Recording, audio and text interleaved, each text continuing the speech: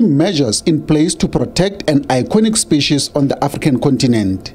Giraffes are native to Africa and are the tallest land mammals. This public-private partnership has established infrastructure that will allow students to improve their research skills while also fostering international cooperation on the study and conservation of giraffes.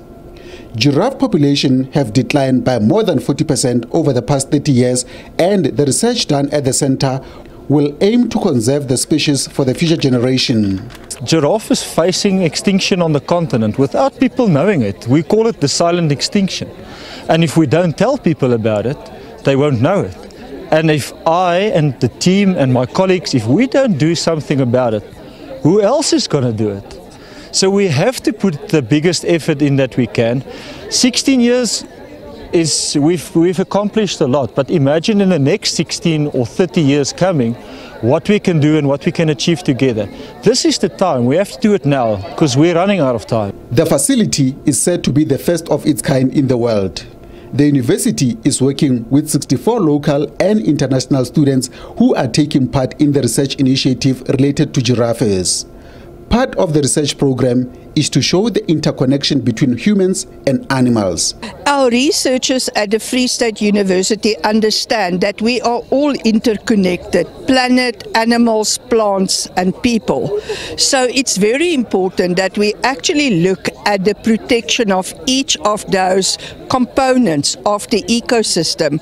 And the Giraffe Research Center is, is a starting point uh, to actually focus on giraffe research and we hope that this can be a blueprint for similar types of studies on other components and members of that broader ecosystem. Ultimately, the research that we do um, is focused mainly on impact uh, at the end of the day. So we want to see what uh, research is not just always in a theoretical plane, but how does it transfer to society and how we can get maximum impact for from our research environment.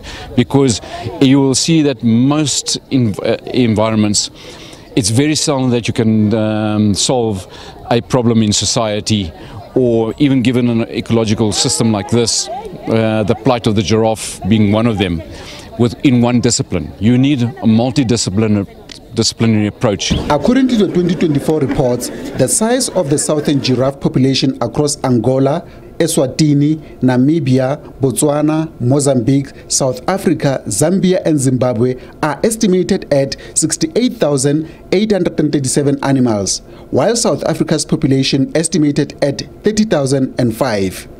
Ishmael Mudiba, SABC News, Brandfort.